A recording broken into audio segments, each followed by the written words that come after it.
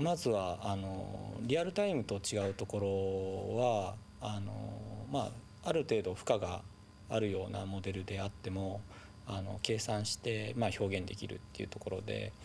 まあ、その特色を生かして、え、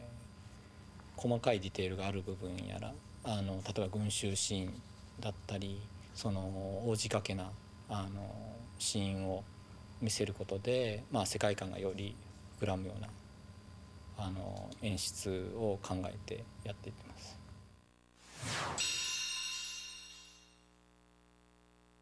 冗談交じりで。あるんですけども。まああの割と明るくやっていってますけども。まあ何でしょうかね。あの人それぞれでやっぱし個性が違うので、えー、とまあこの人にはこういう言い方でっていうのがありますけども、まあ、大きくは割とそのコンセプト的な部分で、えー、とこういうふうなのを作ってほしいっていう話をしてでそれでもまあこう想像があのできない場合は絵的にあの例えばこういう映画のこういうシーンを使ってくれとか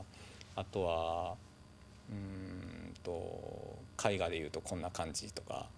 割と具体的にあの見せていきます。でも最初からま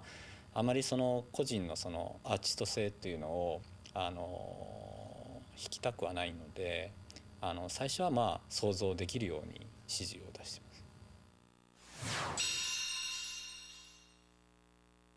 スタッフにあの君たちがやれみたいな感じで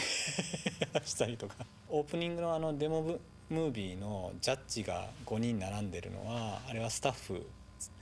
5人で やってます。ちょっと不安だったんですけど。絵になったら結構いい感じになった。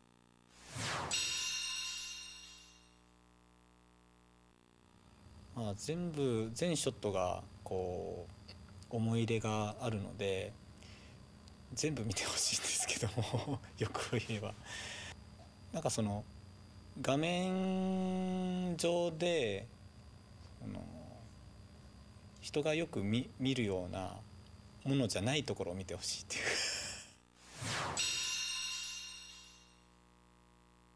空がテーマだっていうことなので、まあ、その空の写真をすごい集めたりとか、まあ、自分で実際に撮りに行ったりとか例えば簡単なとこで言うとちょっとビルの屋上に行ってみたりとかあの空まあそれをそのまま使うっていうわけじゃなくて空自体ってその空って何だろうっていうとこから始めるために、まあ、いろんなものをあの見てあの自分の中で消化してから、まあ、スタッフと話してやっていってます。まあ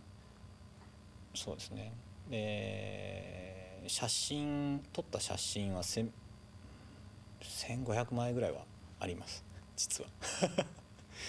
それはもう携帯で撮った写真だったりその通のデジカメでやったりとかあとは一眼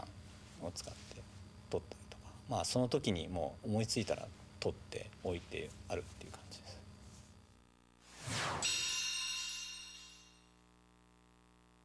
単語で言うと挑戦って感じですかね。もう毎回毎回新しいことに挑戦していってあのスタッフ一同こうそれにあの目標を持って進んでいくっていう感じなのであの旗から見ると挑戦に見えるような感じがします。